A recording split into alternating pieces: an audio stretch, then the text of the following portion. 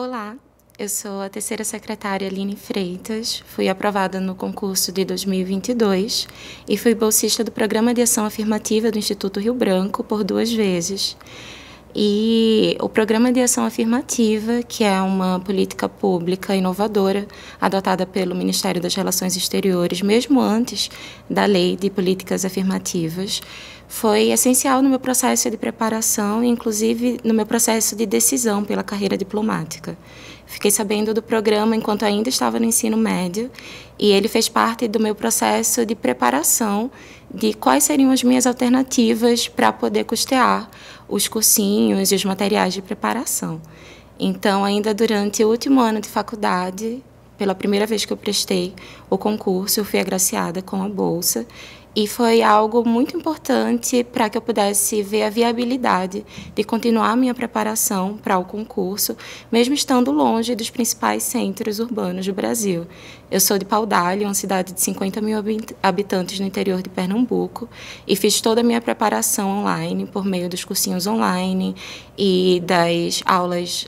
pela internet, né, com professores de línguas. Então, sem essa possibilidade de bancar os meus estudos e de poder me dedicar somente ao concurso, provavelmente a minha preparação teria levado mais tempo do que levou. Nesse contexto do Dia Internacional de Combate à Discriminação Racial, é importante a gente entender que mecanismos que tornem possível para que as pessoas pretas e pardas do nosso país possam ascender ao funcionalismo público são tão importantes como a existência da oportunidade em si. E a viabilização dos meios de estudo da bolsa do programa de ação afirmativa, para mim foi algo essencial e é uma oportunidade que eu tenho certeza que outras pessoas negras podem contar para que seja um ganho efetivo na sua preparação. Eu acho que, para mim, um dos maiores entraves para conseguir aprovação no concurso era o aprendizado de línguas estrangeiras e pelo custo que isso traz, pela rapidez que eu precisava ter melhoras em todas as línguas que são cobradas no concurso. Então, poder contar com a bolsa e poder contar com a possibilidade de renovação para poder manter os meus estudos a longo prazo foi algo